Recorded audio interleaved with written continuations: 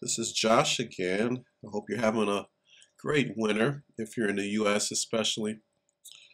So today I'm bringing you another video of a latest release from Native Instruments.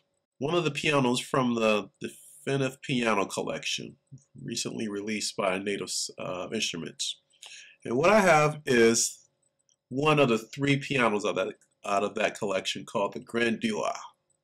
I like that name. If I'm pronouncing that right, um, my guess, and I'm shooting from the hip when I say this, my guess is that this is a Steinway, a Steinway D. Doesn't really say that, but it kind of gives you the hint by saying in the description on one of the websites that it's one of the world's favorite pianos, whatever that means. So I'm guessing it's a Steinway D. It has the design of a Steinway D, but anyway, I wanted to uh, give you guys an idea of how this piano sound and talk a little bit about it. So I'll play something, some basic stuff here.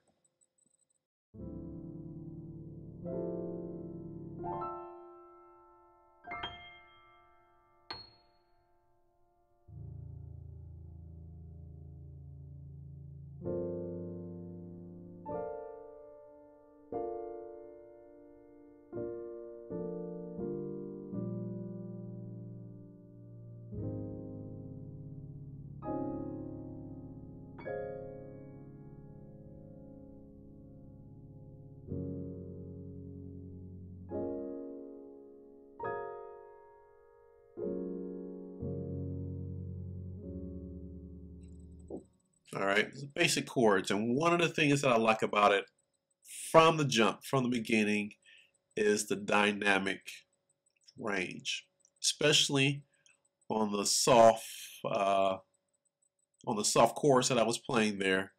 It has such a beautiful, natural, warm tone to it. So I'm going to play this D minor chord again.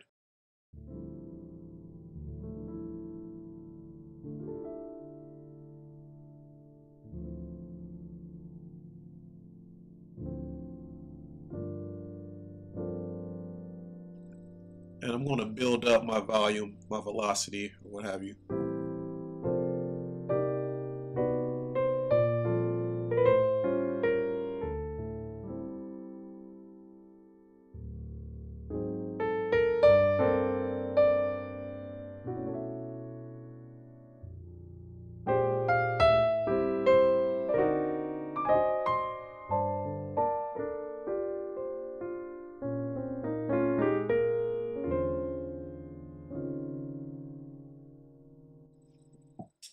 Beautiful tone. A very, very beautiful tone that I like. So.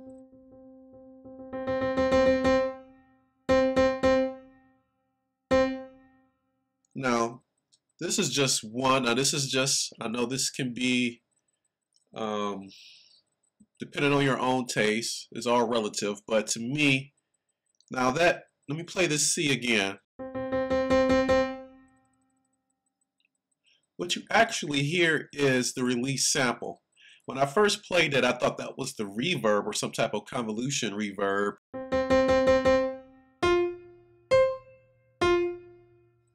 So for me, I think that the release sample is a little bit too overbearing. So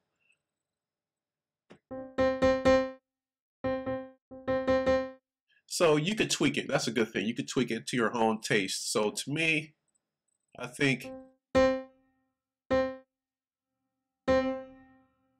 it almost sounded like a reverb when you have, I think it was at minus 18, but if you, I'll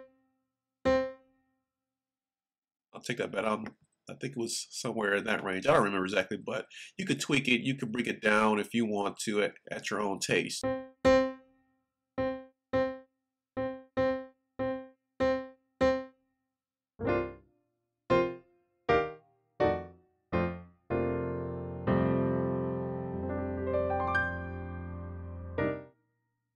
All right, so that was the only drawback for me was that I think the release samples were just a little bit too assertive. It was almost to the point where I thought it was another reverb, and the, as you can see, the reverb is not even on yet. So you can tweak that, all right? And here are some of the mechanical noises like the pedal sound. Of course, you could tweak that. Damper. And blend those in both nicely in a string. There you got a nice right? So some of the features here the overtones of course uh, like if you hold a chord down. Uh, sympathetic resonance as most of you may be more familiar with that term. That's what the overtone feature does stereo image you can swap. Oh, it puts the low end on the right side. The high end, since I'm playing a high note, the high end on the left side as you can hear it more. If I swipe it back, gives you the uh, perspective of actually sitting at the piano. All right, velocity curve here. You can turn on a silent key, the repedaling. You should know what that is by now. If not, it's just basically the the last attack when you, well, the tail end of the sample is when you press the, the pedal down, sustain pedal, so kind of like this. type of thing. Half pedaling, basically, I have a continuous pedal, finally, so I can give you an example of what the half pedal does. It kind of sustains the notes for a half sustain, I'm a little bit long, uh, less than a full sustain.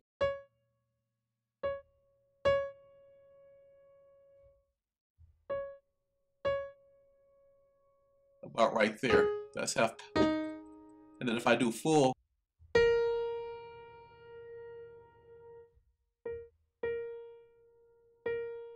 there's the half pedal.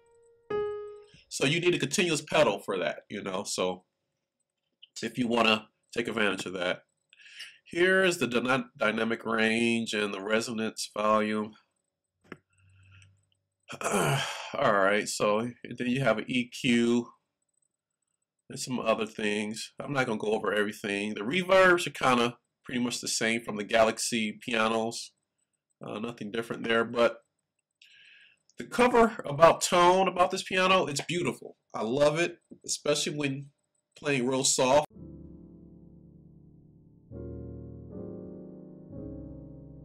Work very good if you're playing a ballad or a slow song. Um, now the higher, the higher dynamics, I'm not, I don't know.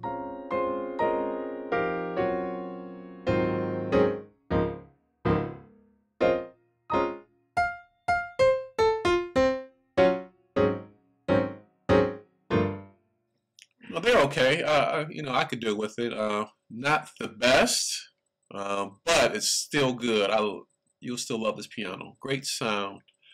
Um, there's also a lid feature here, so you can play with the closed lid. Kind of mutes the uh, the mid range and the high range. Half open there.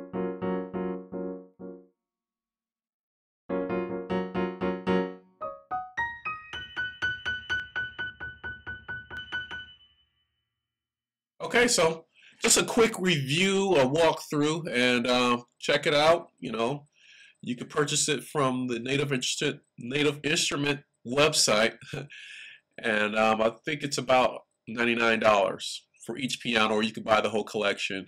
Check out the website. You know, check out some of the the demos. You may enjoy it. All right, so thanks for watching.